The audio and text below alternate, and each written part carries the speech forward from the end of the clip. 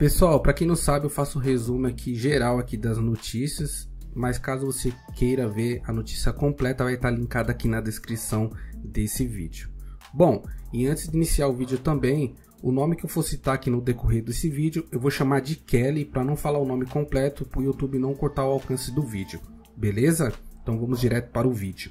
Bom, a Lia, por sua vez conhecida pelo pop e hip hop adquirida aí assim os apelidos de princesa do R&B e rainha do pop urbano. Um documentário mostra que Kelly comprou o silêncio dos pais e a Lia para não ser preso. Vocês sabiam disso? A polêmica relação de Kelly e a Lia teve novas informações reveladas no final da série documental Survivor Kelly, da Lifetime, que foi ao ar no dia 2 e no dia 3 de janeiro. Segundo o documentário, o cantor condenado por teria silenciado cantor, a cantora Lia e sua família com um acordo de sigilo.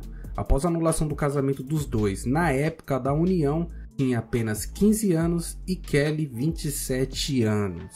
Bom, Kelly foi o mentor da Alia e foi apresentado a ela por seu tio executivo musical e empresário Barry Harrison, que foi o principal compositor e produtor do álbum.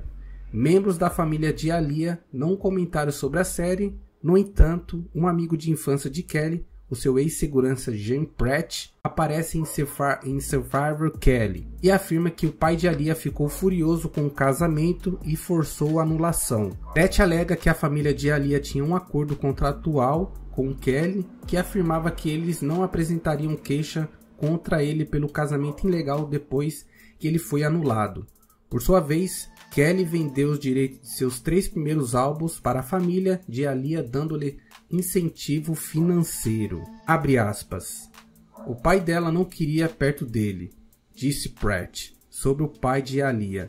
Pratt admitiu que havia muitos facilitadores com Kelly antes da sua prisão. Enquanto isso, os promotores especialistas jurídicos explicaram que isso era crítico para o impedimento criminoso do cantor. Ele não poderia fazer isso sozinho, é impossível. Está claro como o dia havia facilitadores. Fecha aspas, disse Pratt. Abre aspas. Essa não foi a cooperação de um homem só. A maioria das pessoas da equipe dele sabiam muitas dessas meninas que eram menor de idade. Fecha aspas. O produtor executivo do Survivor Kelly, Jesse Daniels, explicou que eles tentaram abordar o tema de forma mais delicada possível para garantir que respeitasse o legado da cantora.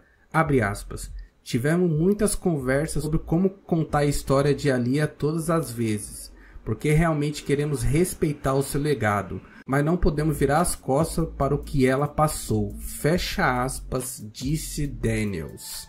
Bom, como eu mencionei no começo do vídeo, eu vou deixar o link da matéria completa na descrição desse vídeo. Eu vou ficando por aqui. Um forte abraço.